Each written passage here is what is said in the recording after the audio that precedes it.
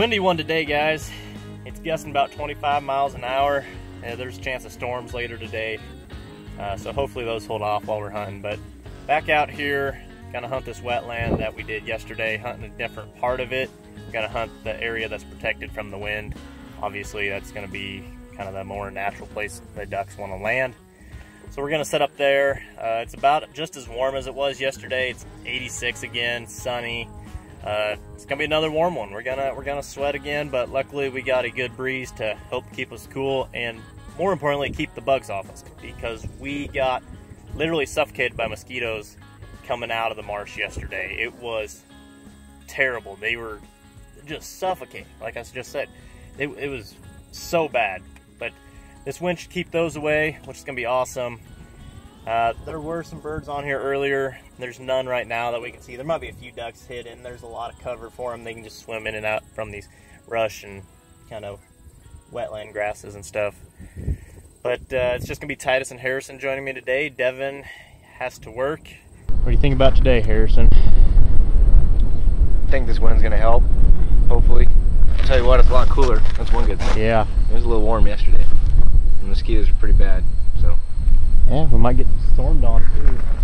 Dude, it was Dude, gnarly this morning. this morning. We went out there. Socked in fog. We were going on a dove hunt this morning. We seen this wall coming from the north.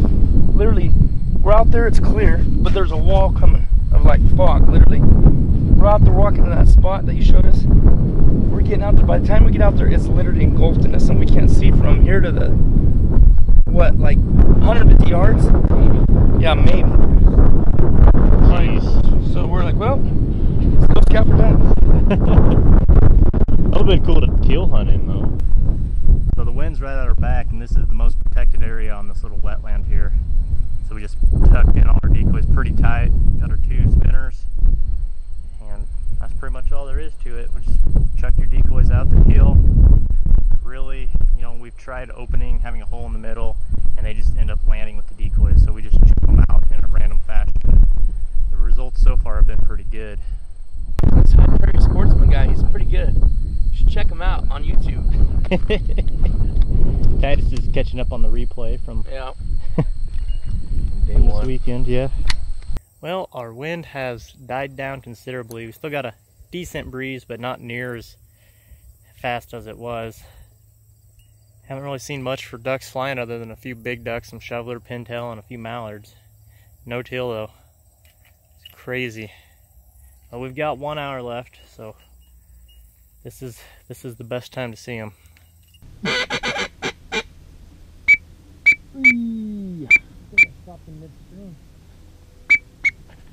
Well, we have our first teal sighting of the night. I'm too dehydrated. There's one. There's one.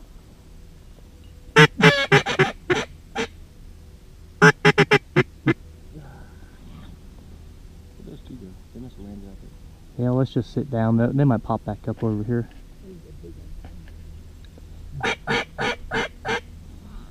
Hey, we're seeing them now. We're first ones we saw.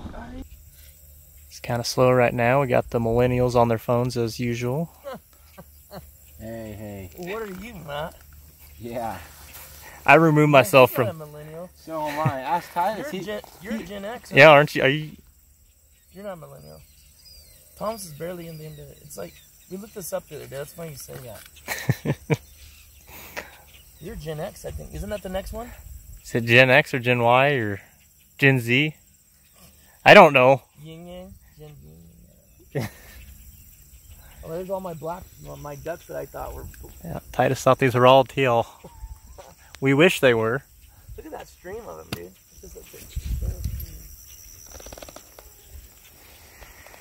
Got a little less than an hour to go. We've seen our first teal, but they have not came over. Look in the pond over there. Titus got me.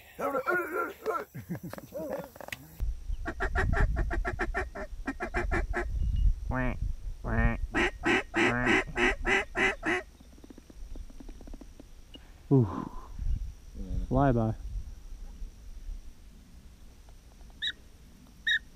Can't buy a teal today. What do we see? Two? Five? That's a day. We literally just had a teal come and buzz us two minutes after shooting light. Two minutes. He couldn't have, you know, he couldn't have been a little faster. That's all we wanted was just one teal. But first skunk of the year in the books. That's duck hunting though. You know, it's not always limits. It's not always multiple birds or any birds. Yeah, but we still had a great time. Enjoyed the sunset. Wasn't too bad once the sun went behind the clouds and stuff. So, I mean, what else was I gonna do after work today? Right. Instead, you get to hang out with cool California guys. Yeah. Yes, sir. nah, that's. Yeah, I, I mean, we'd be sitting in a hotel right now if we didn't come out. You know what I'm saying? We drove around a lot today and seen a lot of, seen a lot of birds. Honestly, there's still a lot of birds. I I know. I thought we would have. Oh, I really think. I thought we were I gonna have really more. think wherever those shells are from, I think they get an extra pressure.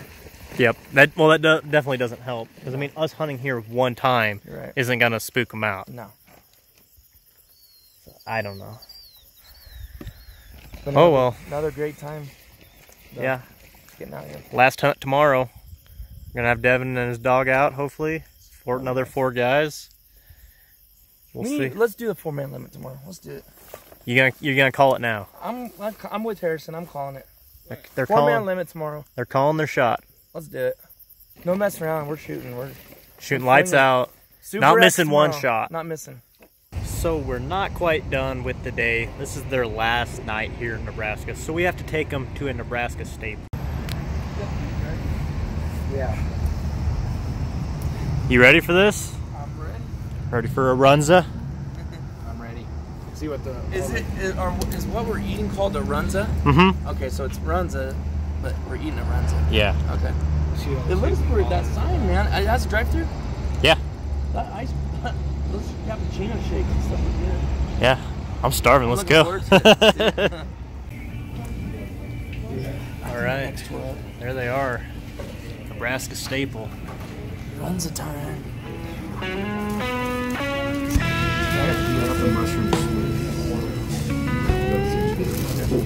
It's smoking hot. I'm not burning mouth.